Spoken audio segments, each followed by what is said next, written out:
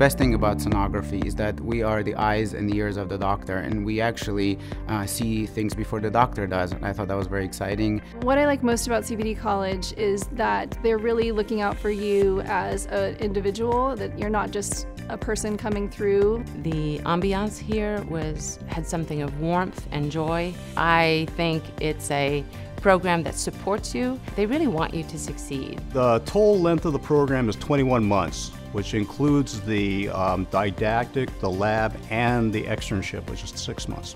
What I love about this program and sonography as a whole is that you can specialize in any field. You can go into general abdomen, you can go into um, OBGYN, you can do breast ultrasound.